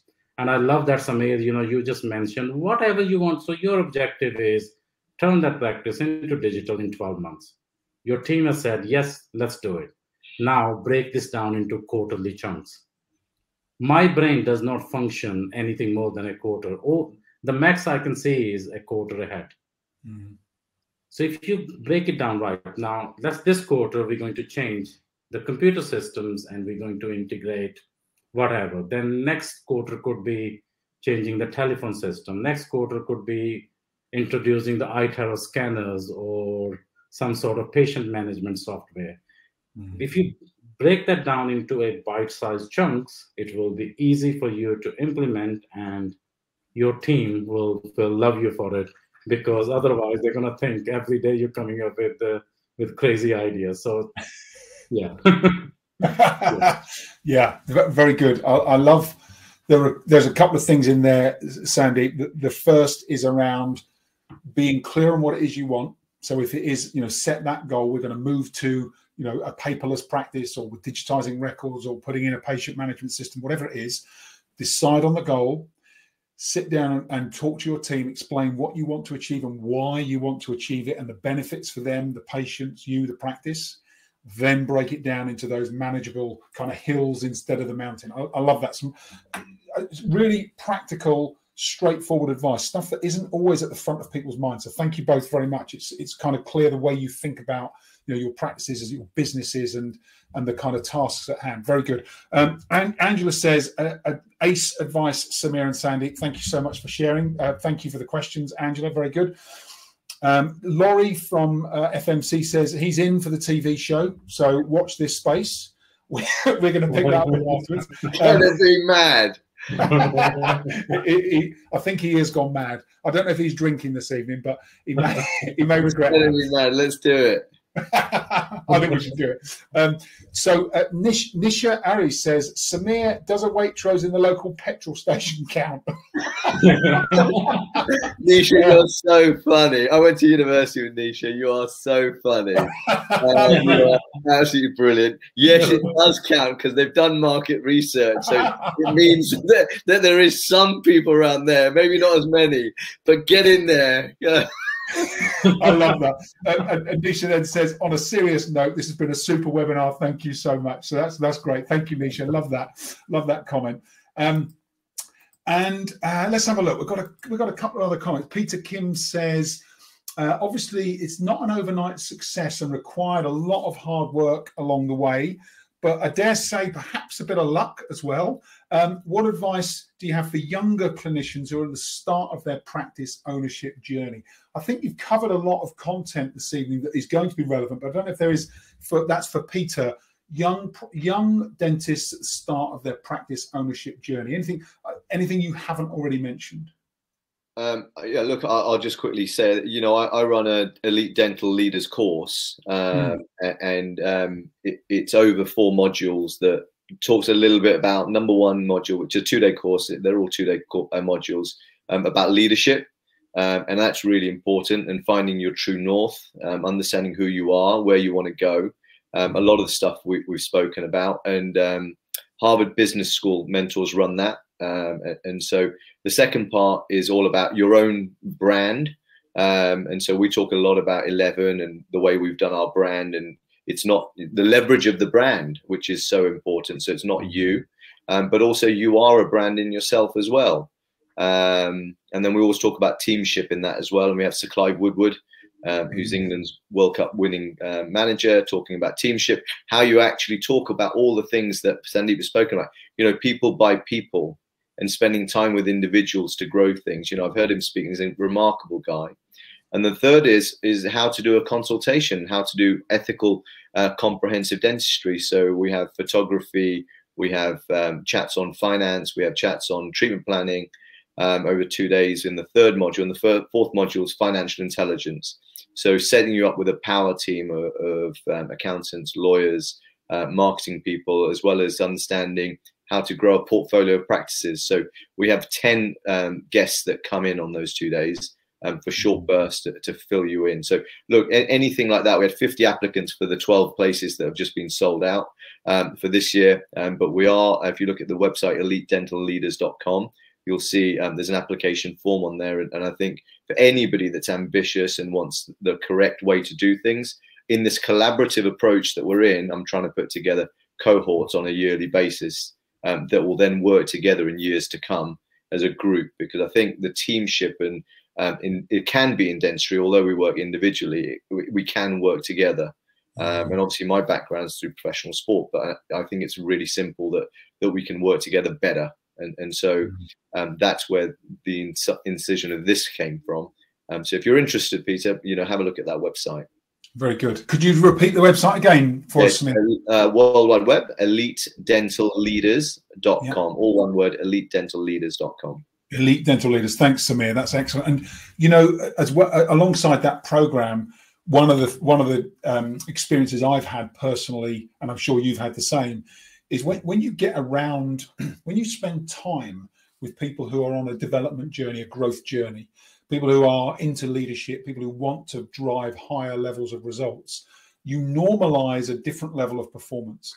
And if, and from what you've described and from you know we've discussed it, your program is not only going to give people that that kind of competence training mentorship, but they'll they'll become part of this high performing community that just normalizes the next level. And that that is so important to start thinking differently about yourself and the people that you spend time with. So really good. Thank, thanks sameer. Appreciate it. Um, sandy how about you yeah, so you know, we as you as you mentioned, uh, Justin, we have covered most of the stuff, and mm. we, we the most important thing is you know if you're just starting out, going on a day training course or something like that is not going to get you ready for it. As Sameer mentioned, that what he's doing is a 12, 12 months, 12 months training program. You need to you need to have you need to get that knowledge under your belt before you can go away and you know it it's an investment. Again like i mentioned that before as well. When you go out and doing something like that it's an investment which pays off or pays off over time. Mm. again if you can have somebody's number in your contact list in your phone is you know just sense check. You know i'm running MiSmile network which we talked about uh, 90 odd practices. The principals who run run it they just simply, you know, they are very successfully running their dental practices, but they simply pick up a phone and, you know, sometimes they ask me, Sandeep, I'm stuck with this decision here. What do you think I should do? You know, how do I structure this lease? How do I structure, how do I pay my associate? How do I hire this staff member? And all they have got me is a, on a speed dial. And they pick up a phone and, you know, it's just, sometime I have an answer there. And then sometime I tell them that, you know, give me some time and I'll, I'll, I'll think about it.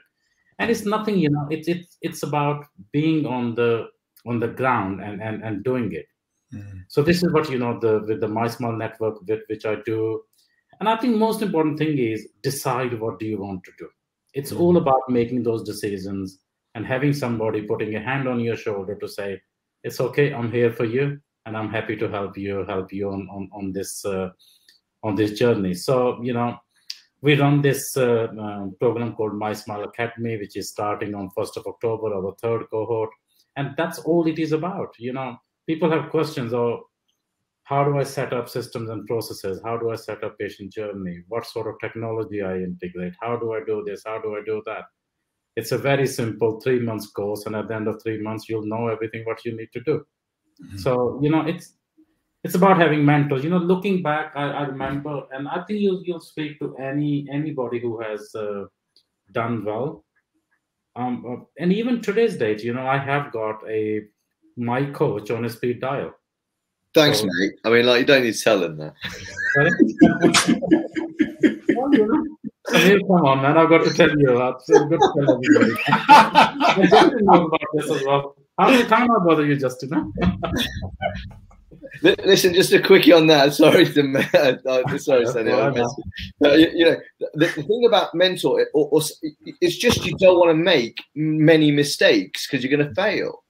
Mm. And actually, the, the mentor that you have, or whoever you feel comfortable with, whatever it is, it's all about actually not making those mistakes, mm. because the mistakes just drop you back down again, whether it be confidence or financial or whatever it is. What we want to do is just keep you growing up and, and, you know whoever it is around you and i'm sure that there might be somebody from university who works around you uh, or somebody you aspire to be like just ring them up and you know um, more than ever what a great time to, to ask for help. And, and you know we, we have time in, in, in the world now. Mm. that's great. And, and interestingly um, Sheetal has asked about some advice for choosing mentors. I think you've answered it uh, but is there anything else in terms of uh, kind of thinking about how you identify mentors? You said Sameer, you know, choose someone who is in a position that you know you admire, you want to emulate, right? And that is is potentially a good fit for you. Make sure, but you also said earlier, make sure that there's a connection. Make sure you get on because that's important. Sometimes I know you both um, are running programs and providing that support to people on your program. So potentially find a program that you're interested in with somebody that's leading it that could potentially be a mentor throughout that period. Uh, anything else that, that kind of comes to mind? Can I just add something here? You know, mm. don't, don't hesitate. If you, what we do is, you know, we find out who you want to emulate, who you think is the person who can help you. Yeah. And trust me, successful people are always willing to help. Mm. Reach out. Yeah. Find them through Facebook, find them through Instagram, find them through whichever way you can and just a quick message hey you know i get people all the time hey sandeep i'm visiting birmingham do you mind if i can come and uh, have a look at your MiSmile clinic in city center and those people there's a number of times it has happened some of them has become part of the network and some decided not to and that's okay so if you mm-hmm. know I, I think i shared my details with you at the start honest to god if any of you got guys any questions forget about everything else. I am more than happy to support you and help you and answer any question offline, out of here, and reach out to those people. You know, there's lots of successful people out there. If you want to learn leadership, you want to learn Invisalign, you want to learn dental implants, facial aesthetics, there's somebody who has already been through that journey. Reach out to them, and you will be very, very pleasantly surprised how many people are out there who are who are willing to help and willing to share their knowledge. Mm. So take that take that next step. Very good and very generous offer of you. Thank you, Sandy. M- much appreciated, I'm sure, by our listeners as well. Um, so uh, let me. I've got a question that uh, I think might be useful. Uh, so I, would love to hear about key challenges you've faced along the way. You know, we all have difficult periods in our careers, and, and I'm sure you have both had the same. But is there, I'd love to think of the one kind of point in your career or your journey so far where you perhaps thought, you know, this isn't working or I'm not going to make this. And then whatever whatever action you took, you were able to turn that around, get yourself back on track and almost kind of uh, brave brave the situation and, and succeed against the odds. I'd love to hear if, your perspective on that. Um, Sameer, perhaps you first, if you've got uh, if you've got something. Oh, I, I, just hate losing. so well, let's start with that. I need to put myself away for a few days and just have a good look at myself in the mirror and, and come back if I've lost. But no, it's it's one thing that, that sport has taught me that you know if you lose, obviously, yeah, fair enough, you lost, but fi- figure out how you're going to get better the next time you go again. Yeah. And so, um, you, you, you, know, there's no loses because I, you know, I'm really not hard on myself. If something doesn't go quite right, okay, well, it, it, didn't go quite right today, and how can I make sure it doesn't go the same again? That would be a big thing for me. Um, but I think there's constant, constant, just not quite rights. And as soon, if you assume that it's just not going to be right, and we're going to just chat, chat, have that challenge in front of you, and we're then going to go above it every time, I think that's just a, a mindset thing. So I think your mindset has got to be um, really positive, and there will be challenges on this journey. And the challenges will allow me to really think deep about which direction to sail the boat in.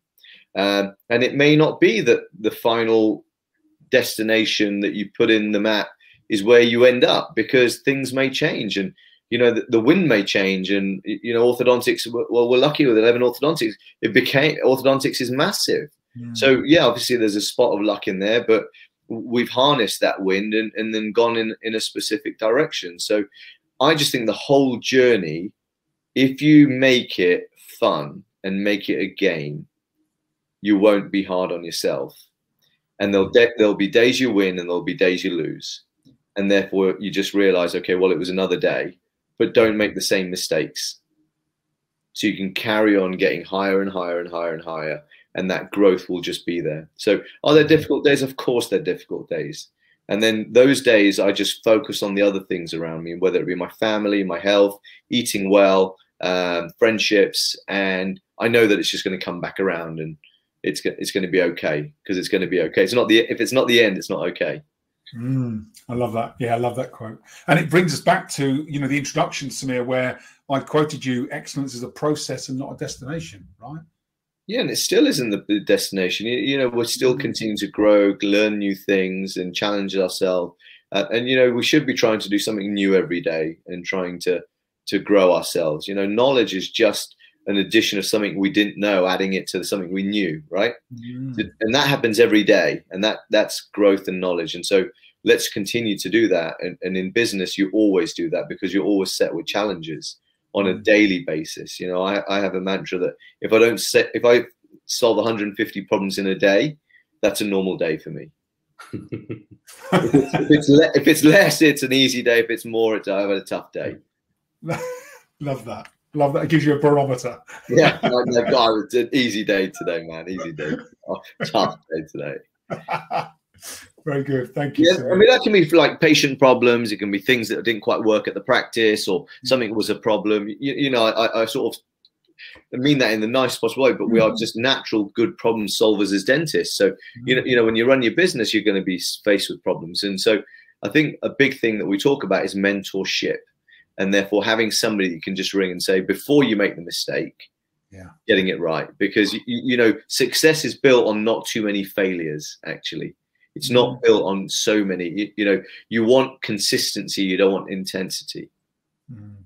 Yeah, it's great. Small step, small step, small step, and less mistakes. And you know, it's also being realistic about what you're facing as, as a practice owner, because if you if you're not anticipating or prepared for dealing with problems, they're going to keep coming at you, and you probably end up being worn down by them. But if part of the way that you approach the business is to recognize problems are going to come at us every day. And I'm my job, as well as being a clinician, as well as running the business, as well as being a leader, as well as all the other things that you have to do, is, is solving problems and making sure that we navigate through them as, as effectively as possible. And sometimes that's with support from a mentor, sometimes it's figuring it out as you go along. Yeah, really yeah. I'm going to share a quick story with you when we took over Elleven, and, and so mm. there was the previous associates there, and they were leaving after a year, and it all come towards the end of the year, and we were then running it ourselves, and um, and we had four staff, and they really didn't want to come on the boat in the direction we wanted to go in. And so I came in one day and asked HR to come in, and we sacked three of them. So we had one staff. On one day, we sacked three staff. Wow. We had one member, and that member was shaking all day, thinking like, "What's going to happen to me?" So I went to see her, and I said, "Look, you know, you're really following us. You're very supportive." And then that was the day that I would say Elleven Dental was created because it was our ship, our way, our direction, and everybody then was pulling in the same direction. Mm. So actually, sometimes you do need to do major things that are totally out of comfort zone and totally don't feel right. But if it's not right, it's not right. And one bad egg really can spoil a dental practice, can spoil a cricket team, can spoil um, a, any type of relationship. So I would say just identify good people, keep them on your bus, and um, and share the vision, as Sandeep has said, um, for these people. And you know, in, in the, talk to them individually about what their roles and and and, and define what their role is and what, what they are expecting from them. Mm. Brave decision, Sameer. A necessary decision, but brave decision. Very difficult. Those you know those key moments of leadership are so important for us to to embrace however uncomfortable we feel. Yeah, you can imagine how difficult that was, Justin, yeah. for the next six months or three months or whatever it was until mm.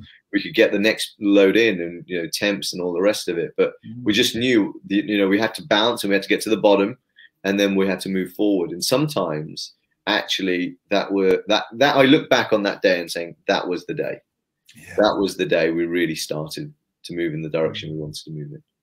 Very good. Great that you can look back and see that you know critical decision critical decision point and the impact it then had. Really good really good. Uh, so sandeep how about you? Key challenge and and kind of how you navigated and and got through it. Let me tell you a story. I think that will probably summarize the whole thing. So 2010 i opened a clinic in house of fraser birmingham. So 2007 i opened a clinic in birmingham city center and then that did really really well I was on a roll, so I opened a clinic in House of Fraser, Birmingham in 2010.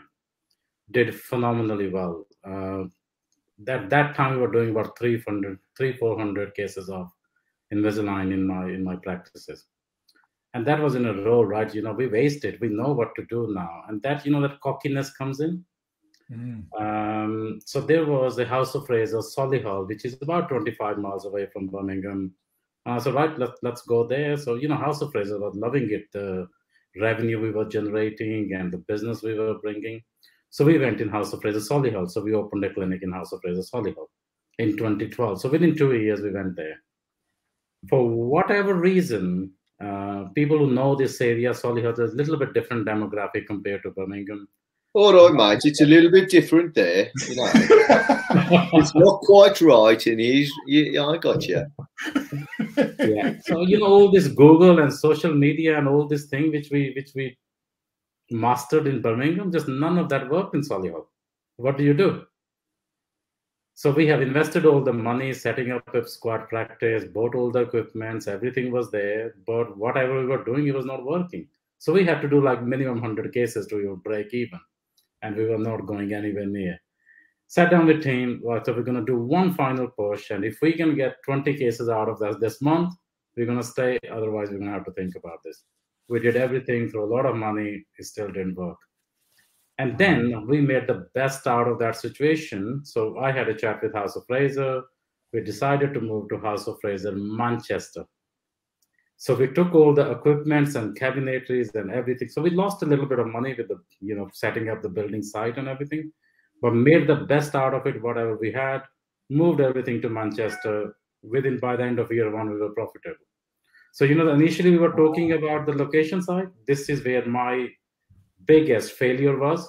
You know, there are very successful dental practices in Solihull, don't get me wrong, but it was not for me. But whereas we got the location right in Manchester, so there was a big challenge. You know, I could have just sat there and that would have really damaged my confidence that, you know, messed it up.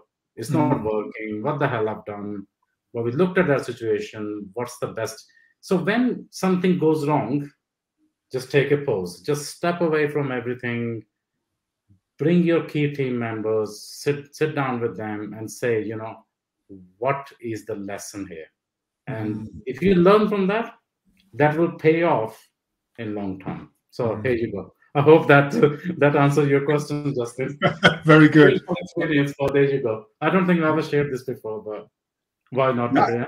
It's eight thirty. Thank you, thank you, uh, Sandy. Thank you, Sameer. And we've got some great comments. Um, you know, Ravi Ravi Solanki saying, "Love the honesty and experience and humility of you both. Thank you so much for sharing."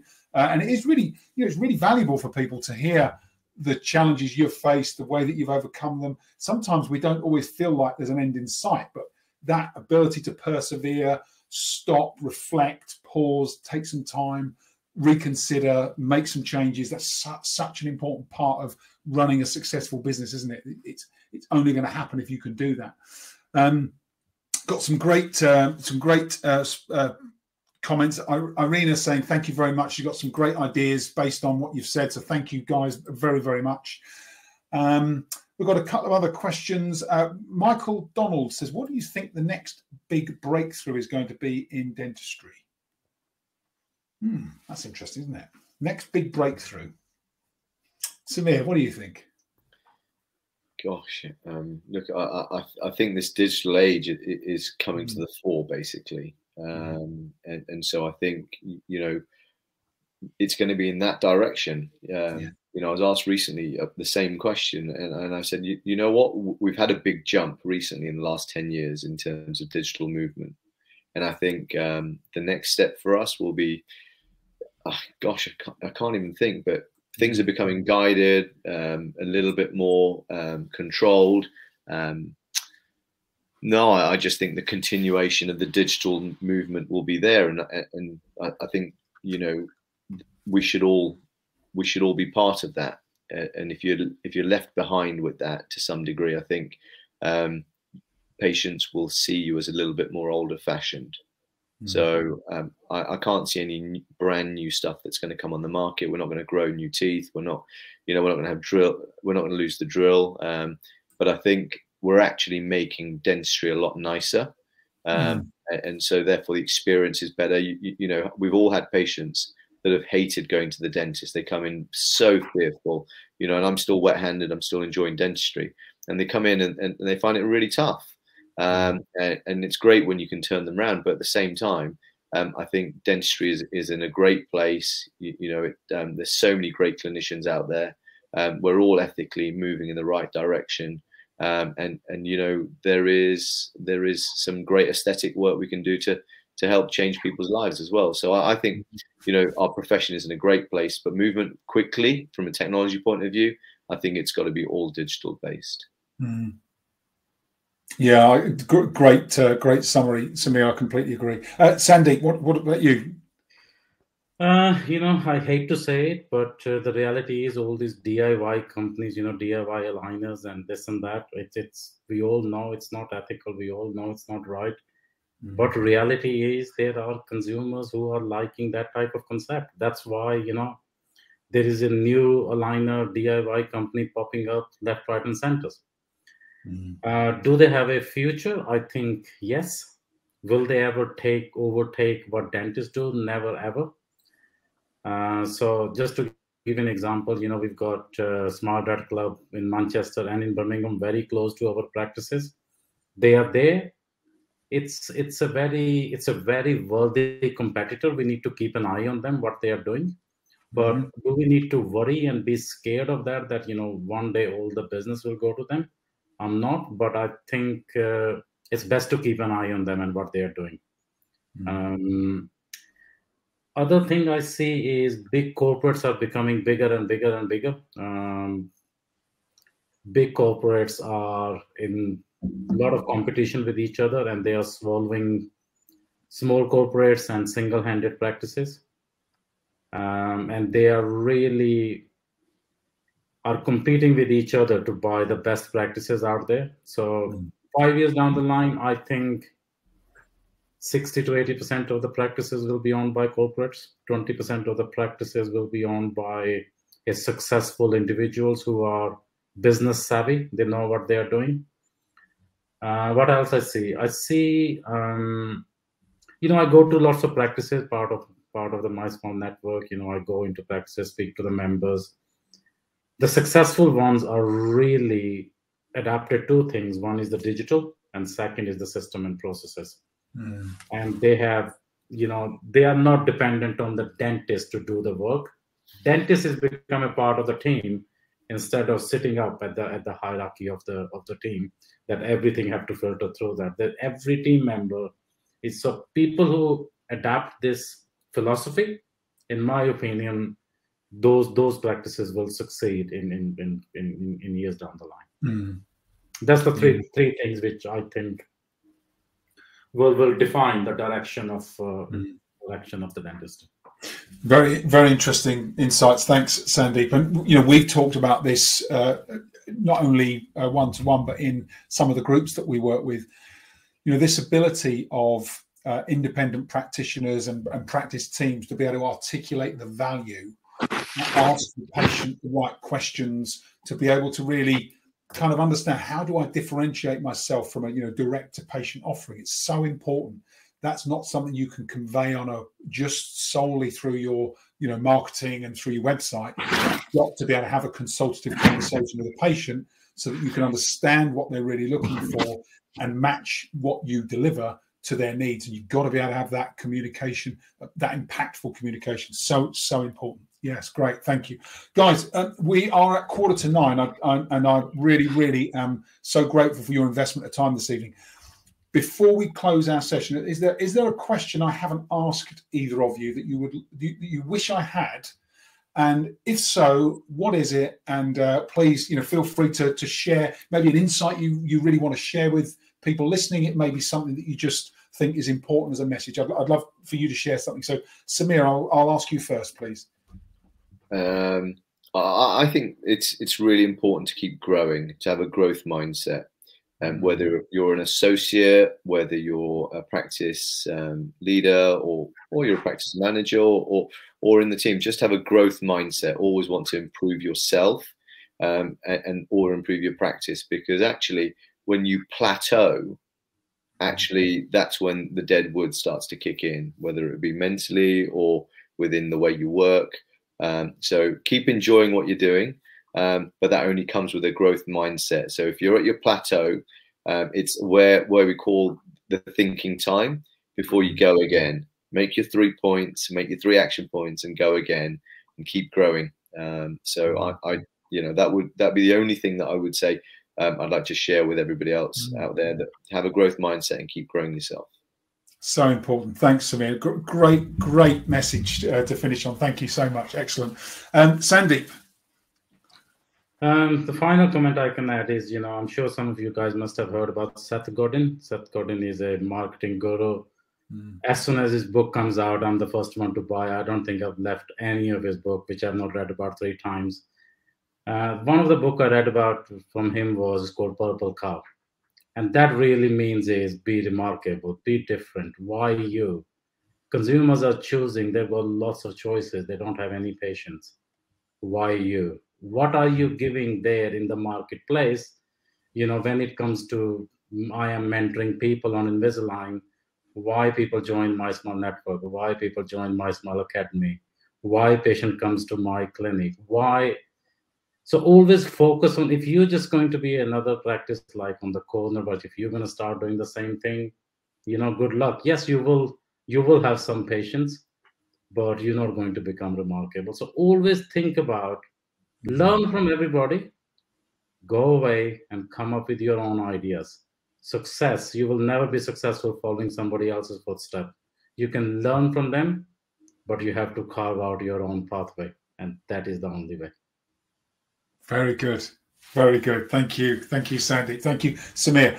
Uh, so, final thing from me, as well as a, a, thank you to you both for uh, your generosity this evening, not only your time, but your your advice, sharing your experiences, uh, and being so open and authentic. I really appreciate it. We've had some great comments on the chat. We didn't get to every question, but I think we got to uh, to the majority.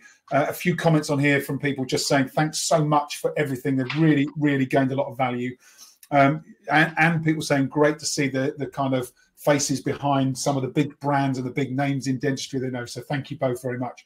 Uh, I just want to share with people on our webinar that we have a free digital goodie bag for everybody that's joined us and basically in that goodie bag there's a, there's a, plethora of gifts. So all you have to do is use this link at the bottom. It's bit.ly which is bit.ly forward slash goodie with an ie hyphen bag. And you can you can access this content. All you need to do is register your details and then you can access the content. And we've got some incredible offers from partners of um, our webinar and partners of Focus4Growth in our businesses. Uh, um, say a huge thank you to sandy if anybody has enjoyed listening about the MiSmile Academy this evening and thinks they'd like to try it, uh, the next cohort starts on the 1st of October. There aren't very many places left, but Sandy was very generously offered us a £100 discount if you wanted to start that next program. It's a 12 week program, £100 discount. All you do is register your details, follow the link, and you'll be able to see that, that promotion. So thank you so much, Sandy. But in your free digital goodie bag, you'll also get a, um, a copy of my best selling book, The Inspire Influence Sell. Mark Topley has very generously uh, given us a copy of his CSR Advantage book, which is newly launched. Uh, David Horn has given us a copy of his Add Then Multiply. How do you scale and think about your business and think about an exit strategy, which is quite an interesting concept beyond just dentistry. Uh, Daniel Priestley, who is a multiple award winning author, has donated two books for our digital goodie bag Key Person of Influence and 24 Assets, both about entrepreneurship and how we develop scalable businesses. And then two other uh, partners of ours, the um, Exceptional Leadership Academy, Nikki Rowland and her team, have offered one month free uh, enrollment in their platform and their program. So thank you, Nikki. And the guys at Sublime Trading, who work with a lot of dentists in kind of compounding wealth over investment strategies and programs have donated a, a free video based program as well. So you can get all of that free of charge simply by registering your details with the digital goodie bag. And that will be confirmed also in the follow up note from Dentistry Magazine to everybody. So it just remains for me to say thank you again to Sameer and Sandy. Thank you to everybody for tuning in for your questions. And really, really enjoyable conversation. I hope you've enjoyed it as much as I have and learned as much as we have as well. So, guys, thank you so much, and I look forward to seeing you both soon. Thank you. Thanks, Thanks Justin. for Justin. And Sameer, good to share the stage with you, buddy. Yeah, sure we'll, we'll catch each other soon. Yeah. Sure, sure. Excellent. Cheers. Thank Thank, you you. both. Have a great evening. Thanks, everybody. Take care. Yes. Thank you. Bye.